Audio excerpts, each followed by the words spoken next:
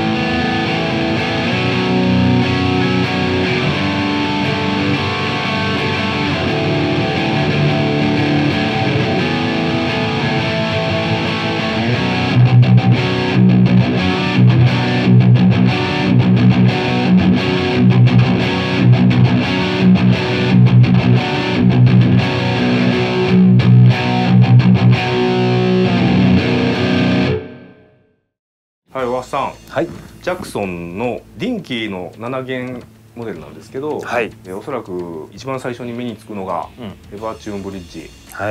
だと思うんですが、さあいかがですか？というかちょっと復習しますか？じゃあ。そうですね。あのヘッドについてるペグが、うん、これチューニングキーではなく、はい、ビブラートとかチョーキングをしても、うん、音程が変わらないゾーンを設定するための、うん、のペグってことですよね。はい、で今巻き弦の方か7654弦まではそのベンドしても音程が変わらないセッティングになってるのでだからパワーコードとか弾いてうねりが少ないというかコードがしっかりまっすぐなってくれる感じですね。これはやっぱり EverTune じゃないとこの感じはなかなか出ないですね。強くピッキングしてもこう一瞬ワンとこう、うん、あのピッチが上がる感じがなく、うんうん、でもそれでいって強くピッキングしたニュアンスが出るという不思議な、ね、トーンの違いは出るのでピッキングの強弱で。でも普通こうハードにねピッキングするとこうちょっとピッチがグワンとなる瞬間があるんですけどそれがないのでなんか独特ですよねやっぱりね。でまあそれでいて、まあ、さっきもおっしゃいましたけど123弦は普通のギターとして弾けるようなセッティングに今してあるんですよね。そうですねこれもだからセッティングでこっちのプレーンゲームもベンドできないセッティングっていうのもできるのでなんかクリーントーンでこう複雑なコードとかね弾いた時に多少この指の力加減でシャープしてしまうとかいうのがなくなるので発音がとても良くなりますよね。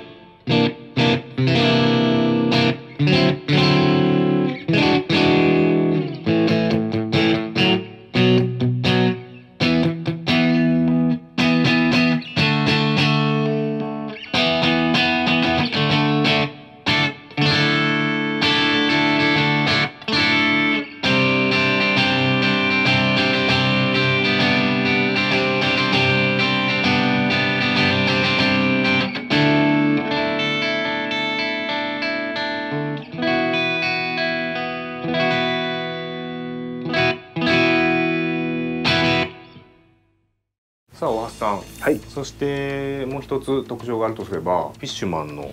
えー、はい、はい、フルエンスが載ってるんですが、うん、さあいかがですかこのサウンド。まあもちクリーンもいいですけどやっぱり歪ませたくなっちゃいますよね。うん、すごいコンプの効いた、えー、気持ちいい歪みっていうのが手軽にこう出せる感じのピックアップで、うん、でこれですよね。このトーンノブのプッシュプル。で引っ張るとアクティブで、まあ、よりこうアクティブの方がパワー感があってミッドが出てくる感じ。あと 5A セレクターの、うん、えー、まああの端っこにポジションじゃない、うん、内側の3つのポジション、はい、これシングルコイルなんですよね全部。そうですね。これがだから一つこっち側のポジションでブリッジ側のシングル。内側ですね。で真ん中で内側同士のミックス。でこっちがネック側の内側。これがねあの歪ませてもすごくいいです。ジャキジャキして。どのポジションもすごく存在感があって、うん、全部使いたい感じが。そうですね。そうこのパッシブアクティブの切り替えもすごく効果的だと思いますしここの3つのポジションはすごいいいですね